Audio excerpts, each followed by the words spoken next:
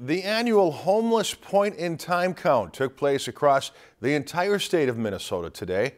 Uh, Sarah Winkleman was at the Brainerd Salvation Army to hear about the purpose of the survey. Did you sleep outside or were you temporarily staying with family or friends or staying in your car in an abandoned building last night?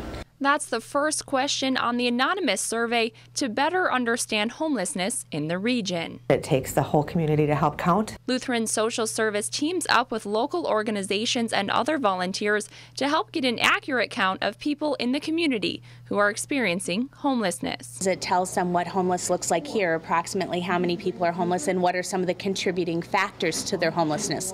Getting this data in the metro area is often easier than in rural towns who need it most. We don't have in, you know, the middle of winter in January to you know a long line of people hanging out by a soup kitchen in a metro area. Here what we have is people hiding out, living with friends or family temporarily during the cold season, um, trying to hide from landlords so everyone doesn't get evicted.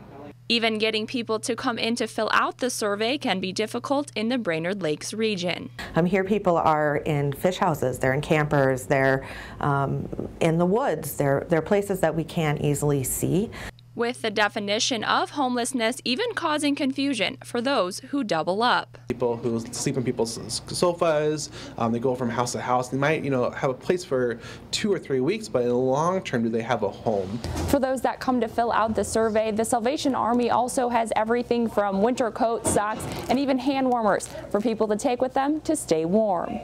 Incentives like these help bring more people in, which in turn brings more dollars. This has a really big impact in our in the funding that we get as a community, not just the Salvation Army, but all the other organizations. It's a day full of questions and answers that all lead to one common goal. It really helps us understand where we're at and, and how we're um, coming together as a community to help to end homelessness. Reporting in Brainerd, Sarah Winkleman, Lakeland News.